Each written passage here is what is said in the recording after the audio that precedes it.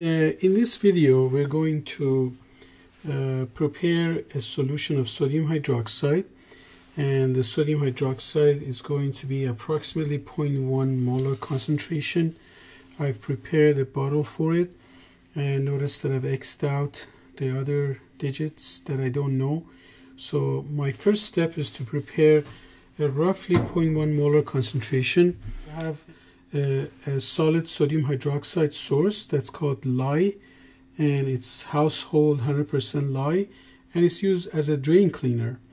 And so I have a solid uh, powder of it and uh, in order to prepare a known molarity of sodium hydroxide to four significant figures you really cannot rely on the mass of sodium hydroxide mainly because uh, sodium hydroxide is hygroscopic, which means it absorbs moisture. And if it absorbs moisture, its mass is going to change. And um, uh, so I don't think it's lost a lot of mass. But again, you cannot rely on the mass of something that's hygroscopic. So I'm going to weigh out uh, the quantity of sodium hydroxide to prepare one liter of solution that will fit into this bottle. So I want you to pause the video and calculate the mass of pure sodium hydroxide, supposedly this is pure, and calculate what mass it is to have in a solution volume of one liter. So please pause the video and calculate that, and then I'm going to weigh that mass.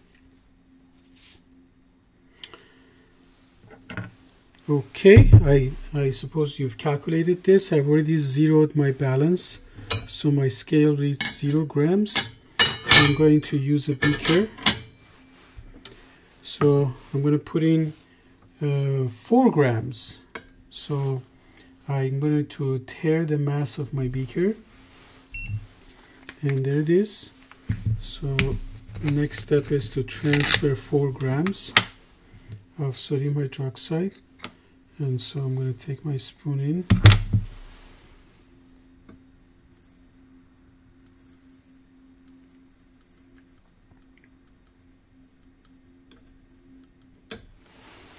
So so far I have two grams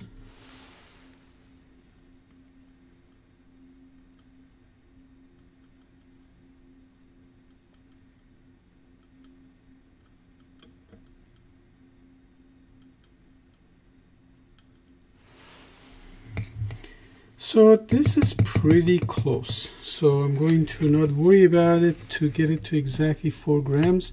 So 3.981 grams is fine. So uh, the reason is that I'm going to standardize the solution anyway. So we're going to know the concentration in a more detailed uh, uh, manner to four significant figures. So we're going to leave this and transfer it into the bottle so here is my bottle that I'm going to transfer this to. So this is pretty dry but just so that I know I'm transferring everything I'm going to use a wash bottle and wash the solids and transfer the solids in the wet manner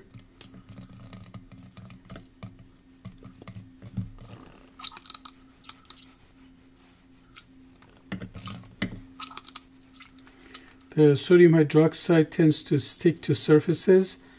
And as I said it's because it is hygroscopic so when it absorbs moisture it starts to become a little wet and it's hard to transfer it. So it's not really totally dry once you get it out of the container. And even in the container it may have absorbed moisture from the plastic walls of the container so we can't really trust that there you go. So I have some uh, sodium hydroxide in liquid form dissolved. So I'm going to transfer roughly 500 milliliters. Now this is 4 grams in 1 liter. So my graduated cylinder happens to only hold 500 milliliter. So I'm going to transfer uh, two 500 portion or a little bit less because I use some water to wash the sodium hydroxide in so I'm going to go like around next time 450 so the total solution volume will be roughly 1 liter. Again, we will know the concentration in a more detailed way once we go through the titration process, a process that's called standardization of sodium hydroxide using potassium hydrogen phthalate.